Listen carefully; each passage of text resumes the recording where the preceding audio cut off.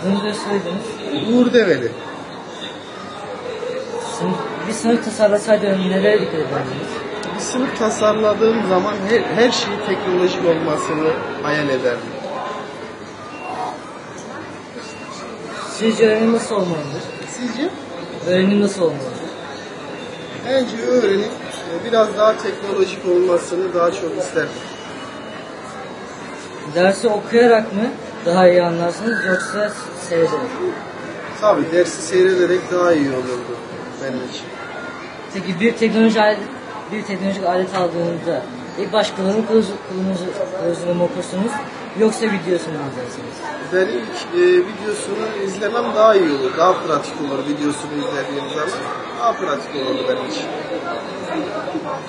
Bizim adımız Living Library. İsmimiz hakkında düşünceleriniz nelerdir? Bir laboratuvar olarak e, ben yeni teknolojiye açık olduğu için çok hoşuma gidiyor. Sağ olun. Sağ olun abi bizimle kayıt yaptığınız için. Ne demek? Adınız ve soyadınız, Olgun Yüce, yaşınız. 22. Biz sınıf tasarlamak isteseydiniz nereye dikkat ederdiniz?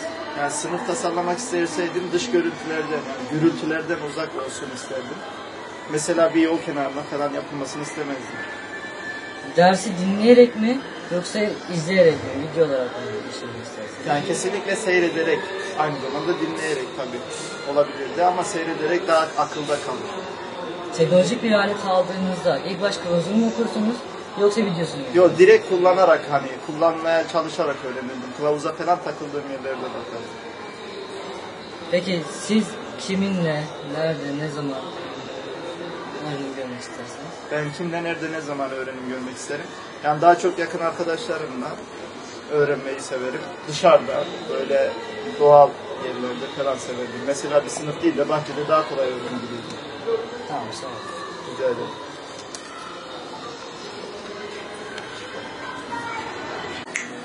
Adınız ve soyadınız, İsmim Sarıkamış. yaşınız. Evet. Bir sınıf tasarlasaydınız nasıl, nelere dikkat ederdiniz? Sınıf. Evet. Kapat sınıf. Evet.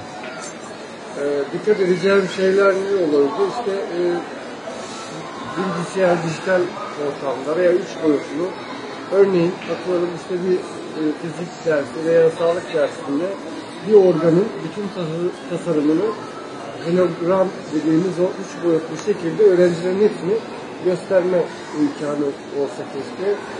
Onun dışında bütün dersler tahtaya tebeşirle değil de hani tamam eskiden öyleydi. Tebeşir kokusu güzeldi ama artık çağ atlıyoruz. Yani dolayısıyla eğitim sistemimiz de bence biraz daha e, Avrupa e, standartlarına uyması gerekiyor diye düşünüyorum.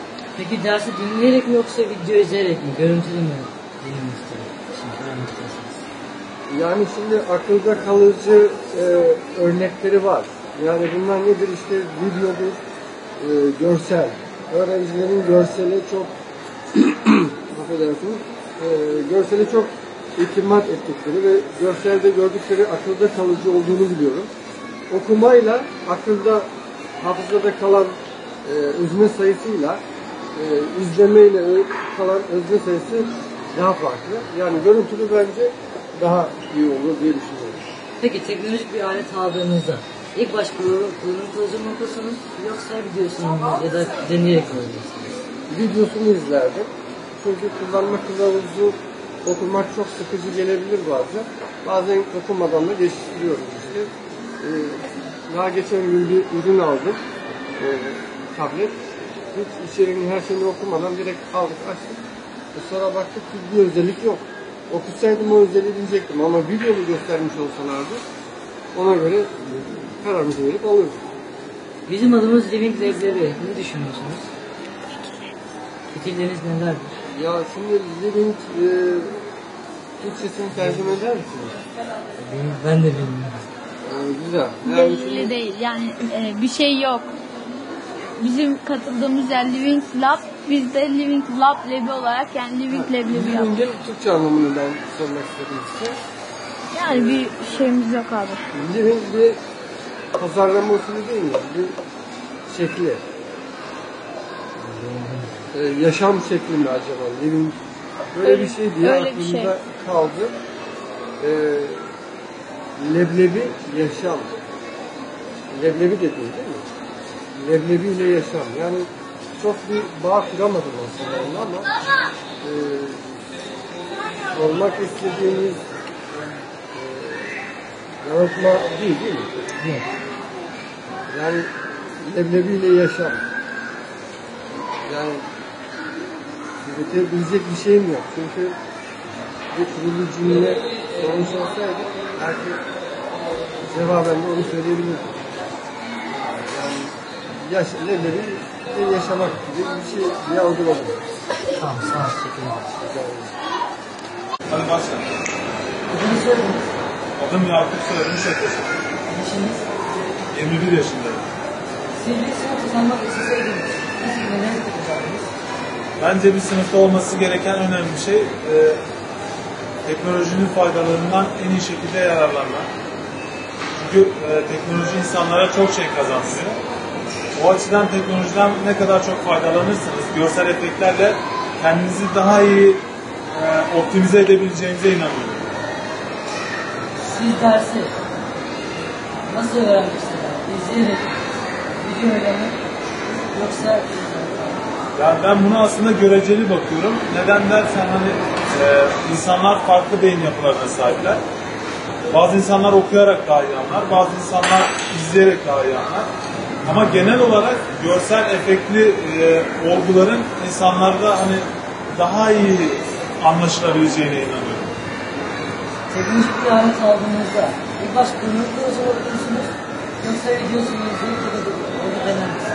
Kullanım kılavuzu hiç okumadım. Hatta kullanım değil de kullanım diyorum daha çok yani. O yüzden hiç okumadım. Ama ben daha çok kendisini kurcalayarak öğrenmeyi seviyorum. Zaten teknolojide aram gayet iyi. Teknolojik eşyalarım da bayağı var yani. Kullanmayı da seviyorum. Kullanıyoruz. Ee, izleyerek genelde e, webten ince noktalarını takip ederek öğreniyorum.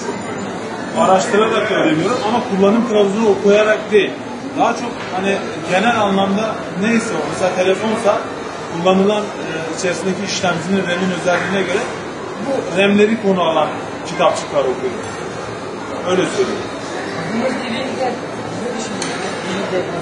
Vallahi daha önce hiçbir şey duymadım yani bu konuda ilgili. Living Lab'le ilgili hiçbir şey duymadım. Hani e, bu konuda daha çok sizin hani bana açıklayacağınız şeyler benim kafamda bir olgu oluşturmuş. Öyle söyleyeyim. Rica ederim. Adınız söylediniz. Yaşınız? 21. Sınıf tasarlasaydınız neler yapardınız? İlk başta bir Atatürk resmi var mı diye ona bakardım. Ondan sonra bir gençliğe hitabı. Ondan sonra tabii gençlerin anlayacağı bir şekilde, teknolojik bir şekilde sınıfı doldururdum.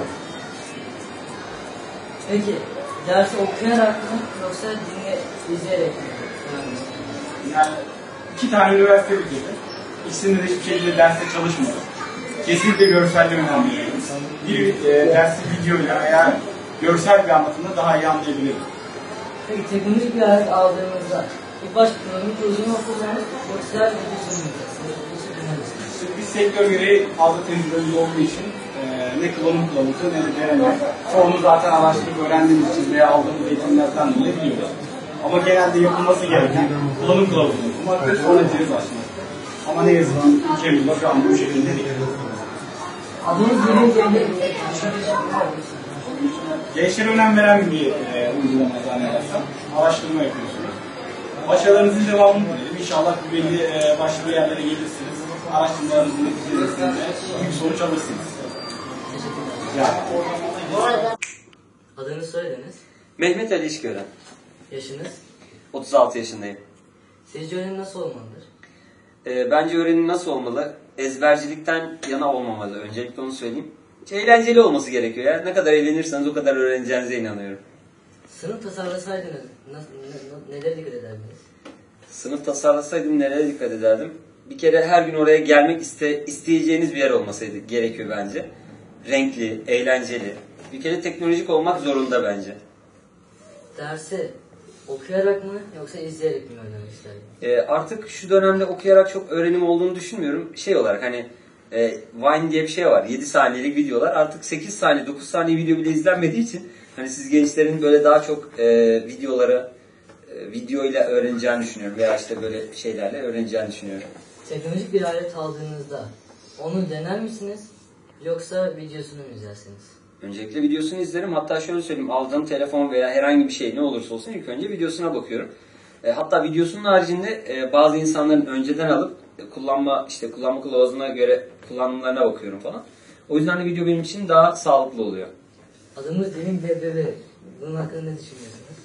Vallahi sen güldüğüne göre güzel bir isim bence. güzel, farklı bir isim.